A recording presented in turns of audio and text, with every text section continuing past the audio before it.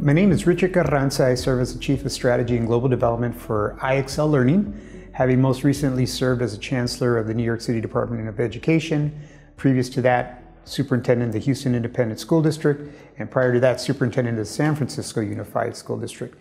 My 36th year as an educator, having started as a bilingual classroom teacher uh, and uh, a number of central office roles prior to that. I'm really thrilled to be with IXL.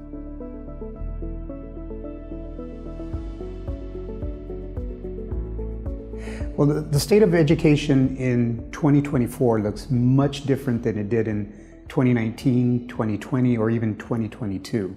Uh, the global pandemic changed many things that we thought we knew were true uh, and really laid bare the inequities that we have in, in, in many of our educational systems.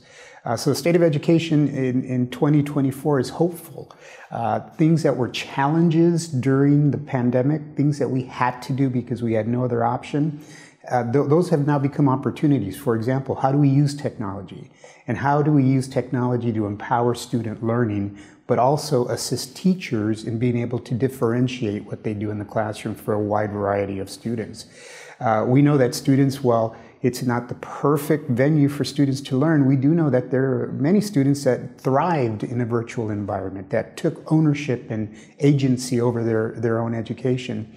So those are all things that we shouldn't let go of in a, in a 2024 educational system. If you think also about the diffusion of technology across all modes, so whether it's families, it's parents, it's teachers, it's students, administrators, everyone had to learn and build capacity to use technology in a very different way than they ever had before. Those are benefits that I think we need to hold on to as we go forward. However, the state of education in 2024 also has some real challenges. We know that there's a funding cliff that came with the ESSER dollars that were allocated during the pandemic. We also know that students I'm not going to say, you know, students um, had interrupted learning. They, they just stopped learning for, for, for many cases. So then how do we re-engage students uh, and bring them from a virtual environment back into a schoolhouse environment? That's also very important in keeping in mind that if we want to accelerate academic outcomes for students, we can't forget the trauma that students and teachers and administrators have been through. So when I speak to my education educational colleagues, we talk about you can't get to Bloom's level of taxonomy, you know, of higher learning without paying attention to Maslow's hierarchy of needs. You have to pay attention to both. And that's very different than the conversations we had prior to the pandemic. So I'm very hopeful for the state of education in 2024, but also very, very sober about what the challenges are in terms of reimagining what we do, how we do it, and more importantly, how we fund it.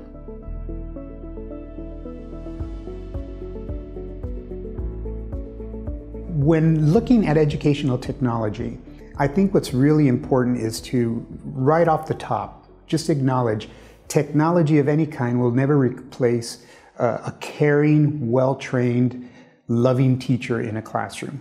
They'll never be, you'll never exchange one for the other. So, having said that, then educational technology should serve the needs of the students and the needs of the teachers that are serving the students. So, what does that look like? So, if you're a teacher in a fourth grade classroom and you have 15 different levels of academic um, preparedness in your classroom, you can run yourself ragged trying to differentiate for each one of those levels of students in your classroom. Yet, if you have technology, educational technology like IXL Learning, that's why I'm with IXL Learning, that can actually differentiate, solve that issue of differentiation, give the students what they need in terms of their skill development, but also at the same time, concomitantly giving teachers information so they know where students are, they know how students are progressing, teachers know where they need to intervene uh, or where they need to push students in terms of uh, their academic achievement. But then students also, think about this, the technology gives students the opportunity to have agency over their learning. So no longer do students only learn in a classroom from 8 a.m. till 3.30 p.m. Now they can learn at 5 o'clock after basketball practice. They can learn at 8 o'clock after dinner. They can learn on a Saturday at the park, right? So the, the technology is very powerful, but it should serve the needs of the students. It shouldn't serve the need of the technology.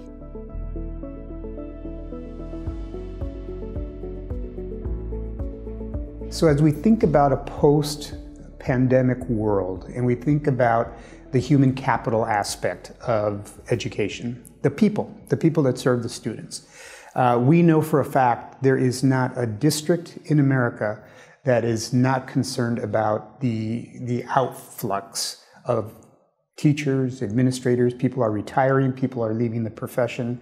Uh, so that creates a vacuum in terms of how do you recruit people to be teachers, how do you recruit people to be administrators, and then how do you keep them? Now, in, in my 35 plus years as an educator, uh, the number one reason that teachers would leave the profession was never just about compensation. Compensation is important, but it wasn't the number one issue. The number one issue was working conditions. So, can I actually do the job that I've signed up to do in the way that I want to do it, loving kids and wanting them to learn and wanting them to do better, but not having this overwhelming array of responsibilities that makes it difficult, if not impossible, to do what I need to do for my students. Now, that being said, I think that conversation, uh, I'm very excited to hear, is really starting to take root across the country. What are the working conditions? A, student's learning conditions are a teacher's working conditions.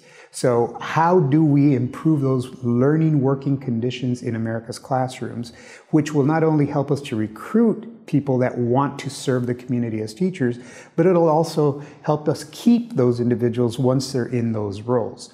Now, that being said, educational technology uh, can differentiate in a classroom and help teachers have the tools they need to really focus on students that need much more of a personal touch.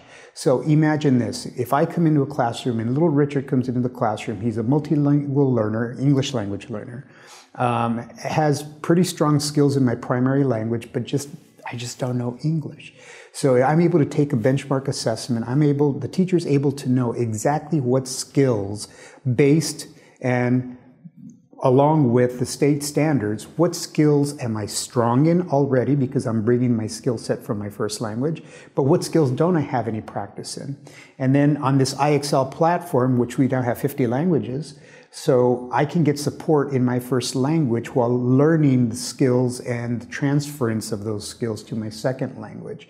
Now the teacher has a, has a report in real time showing where I'm actually improving, where I'm stagnating. Now the teacher can actually be very specific about helping me with small group instruction or putting me in a, in a like-minded or a similarly situated student group where they're all sitting around a kidney table and she's helping me and my colleagues, my other fellow, fellow students, uh, improving that specific skill, and then we go back and we do what we need to do in our in our platform. That's the kind of differentiation and power that educational technology and specifically IXL brings to a classroom, and the kind of support that I think not only makes a teacher uh, working conditions much more doable, but actually exciting because they can actually see the growth in student achievement uh, in real time uh, over the course of a class period or the course of a week.